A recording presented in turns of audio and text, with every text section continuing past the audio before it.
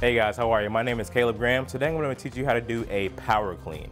All right, so a power clean is a complete total body lift. All right, so you're going to feel it in your shoulders, your lower body, even in your core. Um, so the first thing you want to think about with the power clean is you want to make sure that the bar is touching your shins. All right, so when the bar is touching your shins, you can make sure you have a proper initiation of your lift. And when you do your power clean, you're gonna have an overhand grip. So you're gonna put your thumbs on the bar first and wrap your fingers around your thumbs, right? And make sure your knuckles are facing the ground. So since this is a more explosive lift, you wanna take a breath at the bottom, hold it, and then release at the top of the lift, okay?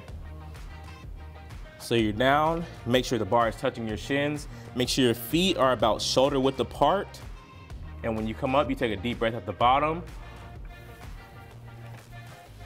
And when you're at the top, release the breath. All right, so when you catch at the top, you wanna make sure that it's in your fingertips and not all the way wrapped in your hands. All right, so when you come down, catch it at your thighs, and you gently place the bar down. You always want to make sure that you are controlling the weight and the weight is not controlling you.